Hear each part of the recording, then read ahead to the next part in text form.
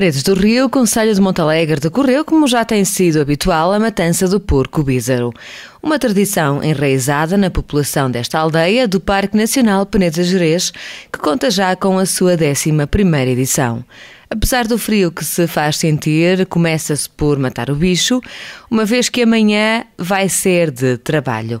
O animal já pressentia que não seria um dos melhores dias da vida, mas, apesar da teimosia, lá se encaminhou para o pátio, onde se ia consumar o facto. Mais umas orientações e definições na tática e toca atacar.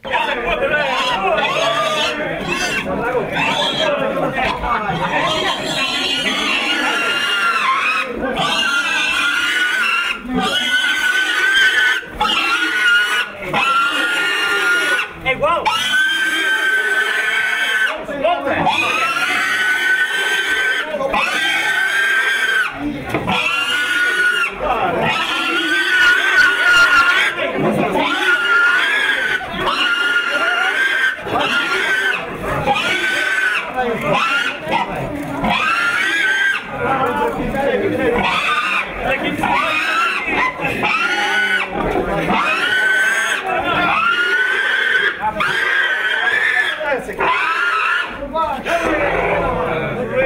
Depois de mais uma tarefa concluída, hora de passar à fase seguinte. Chamuscar o porco como se fazia antigamente, neste caso com carqueja.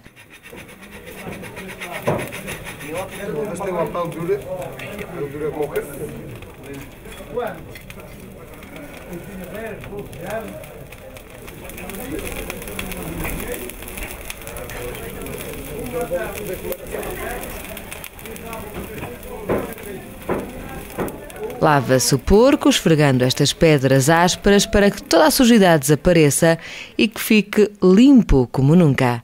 Ali ao lado, em simultâneo, a desmancha do porco morto no dia anterior e que se irá comer ao almoço. Enquanto se extremam as tripas e se espera que o almoço seja servido, os alunos da já famosa Escola de Música de Paredes do Rio dão um ar da sua graça.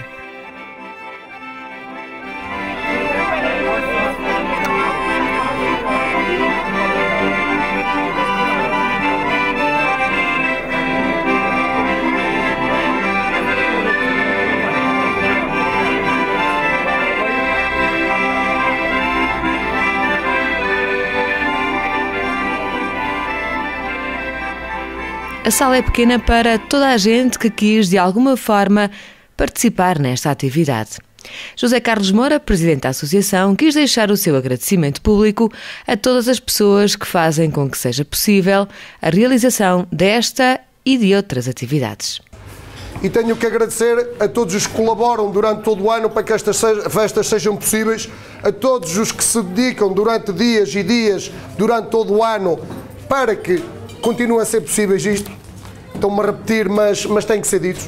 Agradecer às nossas cozinheiras que nos presentearam com, com este banquete e que também nos aturam.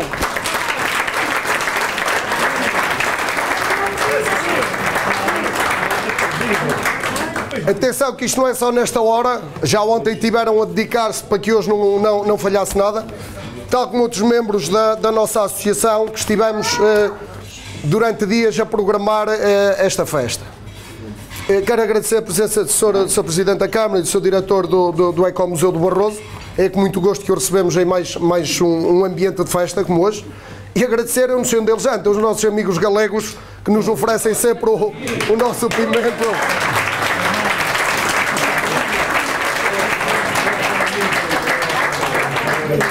Eles, eles também já fazem parte da nossa casa, que há muitos anos que, que, que humildemente vêm à nossa festa, contribuem e participam connosco com muita amizade que recebemos cá.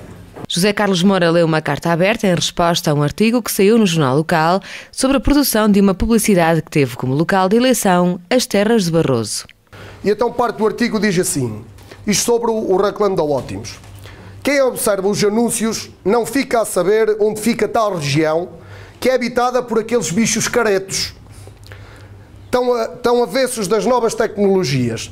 De facto, se faz alguma divulgação da região, mas também é verdade que nos trata a todos por analfabetos, estúpidos e pela rusticidade, pessoas totalmente incompatíveis com as novas tecnologias. Enfim, uma espécie de reserva de índios. Pá, eu quando vi isto, saltam-me logo a tampa. Saltam-me logo a tampa. Pá, e, e, fiz logo uma resposta para, para os senhores. Isto para demonstrar que nós não estamos a, aqui a dormir e, e também não gostamos que se venham meter connosco nem com o trabalho que realizamos. E então, eis a resposta. Excelentíssimo senhor, diretor, depois de ler a última edição, como é costume todos os meses, fiquei de certa forma decepcionado com a falta de compreensão, presença e atitude do vosso jornal. Referente ao artigo sobre as filmagens que decorreram no nosso Conselho para a rede de comunicações. Ponto 1. Um, não foi a rede de comunicações que se deslocou ao local, mas sim uma empresa que foi contratada para o efeito. Se o serviço do operador é bom ou é mau, como era contestado, este caso é secundário. O que nos interessa é que eles viessem para cá, que desse movimento e, e, e que, como está à vista a todos.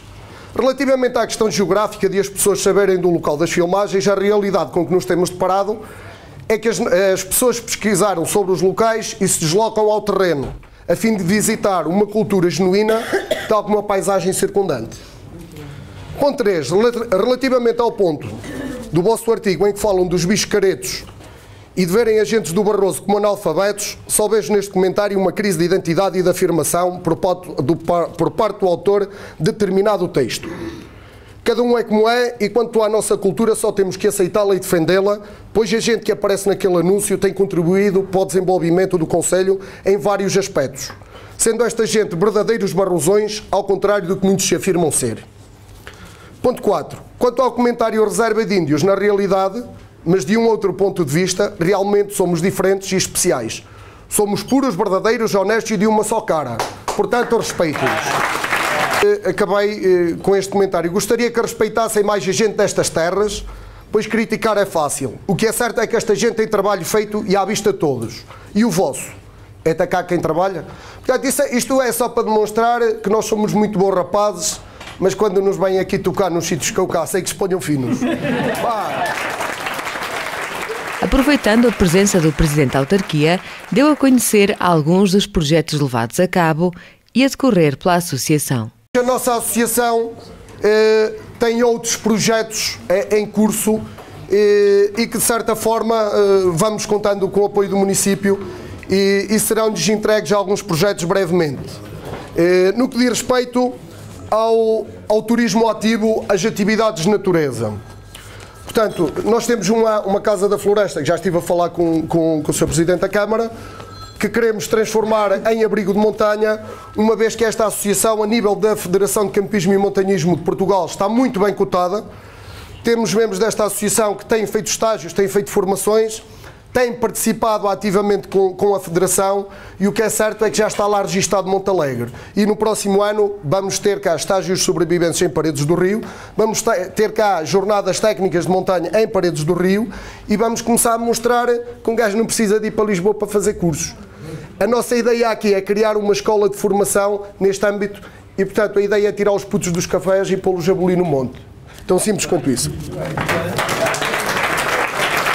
Também presente David Teixeira, diretor do Ecomuseu, o presidente da associação pediu a este para se intensificar mais as parcerias já existentes e outras de futuro. Há aqui alguns pontos que eu já falei bastantes vezes com o Dr. David do Ecomuseu. E, e nós, como vocês sabem, nas nossas organizações das atividades culturais, estamos a chegar a um, a um patamar de organização onde dificilmente teremos capacidade, eh, nós, associação, de expandir mais estas atividades. E o que eu queria deixar aqui e pedir era começar-se a haver uma, um, uma participação mais ativa por parte do Ecomuseu na organização destas atividades e também na, no que diz respeito ao espólio que foi já recolhido por esta instituição.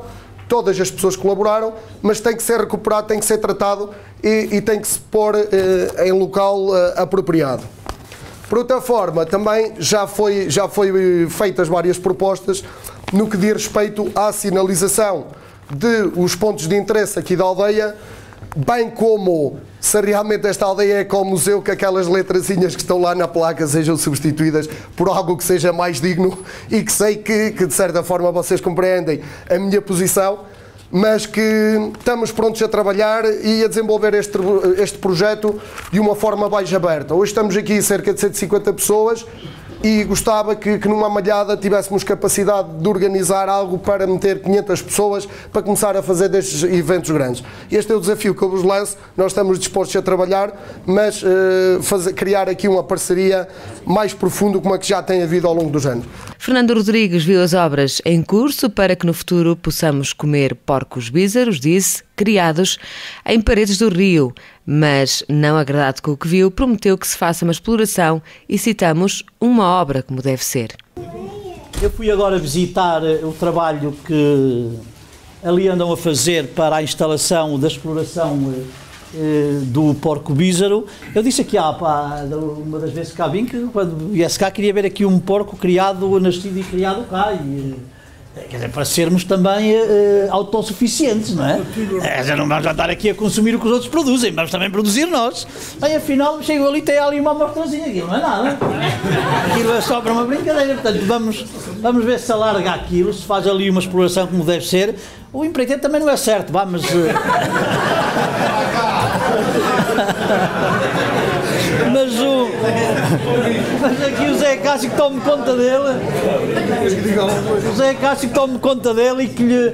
Eh, e que alarguem. Bem, atenção, ele é menino para chegar lá e entrar para as propriedades dos outros dentro. Alargar aquilo também. Mas eu não lhe mandei, hein? Eu não lhe mandei. Vamos fazer, vamos fazer uma exploração aqui. Eh, que não seja só uma, uma brincadeira, que seja uma exploração que possa servir de exemplo eh, e que possa ser rentável eh, e que consiga fazer aqui uma mostra também de como se faz desenvolvimento rural e de como eh, se podem aproveitar os recursos para fazer riqueza e criar, e criar emprego. A Câmara já Atenção, eh, eh, eh, também deitam culpa já à Câmara, a Câmara anda sempre atrás, a Câmara não ajuda, a Câmara não paga. Agora é ao contrário, a Câmara já deu dinheiro e eles não fazem obra. Também andam sempre aqui a criticar a Câmara. Dizer, a Câmara leva porrada, leva porrada, não é? Agora a Câmara deu-lhe o dinheiro, agora não sabem fazer a obra. Estreantes e repetentes, vindos de toda a parte do país e da vizinha Galiza. O agrado era generalizado, onde a boa disposição e o convívio são notas presentes sempre nas atividades desta associação. E ali conhecemos a José Cácio, que o domingo seguinte tiña aquí, invitou-nos, E desde entonces, pois todos os anos, non fallamos ningún ano, todos os anos, dimos aquí. Moito, gosto moito desta festa. Gosto moito da cultura de, de, de Portugal Sobre todo do norte de Portugal Que é o que máis coñezo E que máis se parece tamén ás nosas costumes entonces por eso gosto moito e viño todos os anos e viño con agrádame moito e paso moi ben ademais. Sempre traigo algún amigo todos os anos traigo un amigo un par diles para que conozcan e gustalles moito tamén. A todo mundo gusta. Eu estou aqui a convite de um conterrâneo desta terra que é meu vizinho na, na cidade de Braga, eu moro em Braga. E tal, tal, esse vizinho, tal como eu, viemos do Brasil, somos imigrantes portugueses no Brasil. E ele hoje teve a amabilidade de me convidar a vir aqui nesta terra que eu não conhecia e eu estou realmente extasiado, estou extasiado mesmo, as palavras são essas, pela, pela festa, pela confraternização, pela forma como fazem uma festa é, em comunidade. Isso para mim está me contagiando, é, é, realmente contagiante. Porque eu também sou, fui para o Brasil de uma freguesia chamada Lazarim, que pertence ao Conselho do Lamego e que faz muito destes eventos, principalmente no Carnaval. Fazem aquelas máscaras de, de madeira, aquelas máscaras de pau. E, e também é muito bonito, mas eu não conhecia outras culturas como esta, que realmente me deixam uh, muito contente, muito alegre, porque cada vez mais, como imigrante, eu valorizo o nosso Portugal através das suas pequenas terras, que é esta terra maravilhosa de trás dos montes. Ora, viemos aqui comer e beber para fechar mais uma, uma festa tradicional. Como, como, como disse, temos aí uma, uma casita que o meu pai, que meu pai comprou há uns anos, porque se apaixonou aqui por esta terra. Eu vim atrás, gosto muito disto e, e não, não falta, é uma coisa que eu realmente não, não consigo falhar. Pelo menos esta festa, que é, para mim é mais importante e é mais interessante, eh, não, não falho. O que é que eu faço? Venho às origens, sou de cá. De maneira Costuma vir à matança do Porco? já a terceira vez. O que é que o faz? Voltar, neste caso, estes três anos Família, consecutivos? família e raízes, essencialmente. E isto, é- assistiu à matança do Porco? Claro, assisti. É uma matança, não pela matança em si, mas por, por aquilo que representa para as pessoas. Gostei. É, Para mim é uma estreia estar aqui eh, em Paredes do Rio.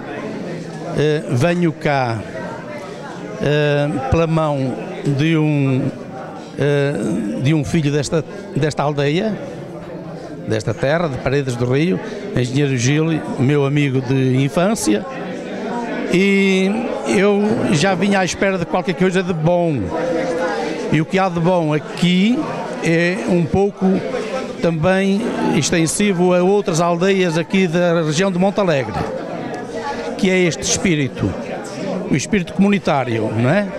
Aquilo que se viveu hoje aqui, portanto, a matança do porco, para mim, é, por assim dizer, uma, é um, um pretexto. Mas o que existe aqui não é matança do porco, é o espírito comunitário das pessoas se envolverem à volta de qualquer coisa que é um acontecimento que normalmente acontece em todas as terras de Portugal, mas à volta da matança do porco as pessoas reúnem-se e fazem uma festa sem nada de especial. Falam, sentam-se, brindam, conversam e abraçam-se. E é neste abraço que eu cá venho. Gostei de ver esta, esta aldeia que é a primeira vez que cá estou, lindíssima, eh, muito bem exposta, uma aldeia daquelas aldeias que fazem inveja a, muito, a, a muitas outras terras, pelo facto de não ter nada de especial, mas ter qualquer coisa de, de muito forte, que é a união. As casas estão juntas, as pessoas estão juntas. E é isto que eu reconheço aqui. José Cássio Moura, presidente da freguesia, expressou o seu contentamento com a 11ª edição da Matança do Porco Ízaro e com o desejo de que continue por muitos anos. É verdade, eh, após 11 anos da primeira matança, acho que se comprovou que é um êxito, é um êxito alcançado e que deve continuar. Hoje tivemos imensa gente de fora, eu julgo que 80% da, da gente que estava neste salão que eram pessoas do exterior. A matança eh, ou a festa do porco bízaro acho que se deve estender a outras aldeias, eu acho que devia-se aproveitar eh, porque traz muita gente cá. Eh, Eu tenho o exemplo de uma que se faz em Morgado particular e julgo que isto devia ser aproveitado de outra forma para trazer mais gente ao nosso Conselho. Nós aqui vamos fazendo o que podemos, não temos instalações maiores, por isso vamos nos resumindo às 150 pessoas à volta disso, mas é uma pena porque acho que é um trunfo a aproveitar para trazer gente ao Conselho de Montalegre. E o dia começou de manhã com a matança, estendendo-se até agora a animação. Sim, quer dizer, começou de manhã com o Bata Bicho, depois tivemos a Matança, eh, a seguir eh, um bocado de animação pela Escola de Música, depois tivemos o almoço, que é um cozido à portuguesa, e agora de tarde a animação com toda a gente feliz e acho que todas as pessoas que vieram cá pela primeira vez vão voltar porque gostaram. Um balanço positivo eh, e como digo, ah, vamos no, no 11 ano, eu no próximo ano já não estou cá como Presidente da Junta, mas penso que isto que é para continuar, porque a gente da terra quer e os de fora exigem-nos que nós continuemos a fazer a matança. Afinal, afinal, meteram-me isto ao bolso sem eu saber porquê. Estou a ver aqui que é a unha do porco. Creio, que ser, creio ser uma tradição da terra e que mais uma vez me faz, me faz eh, ficar feliz de eu ter sido contemplado com esta maravilha.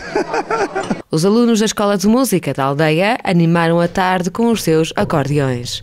Fica também o apontamento de que a tradição ainda é o que era.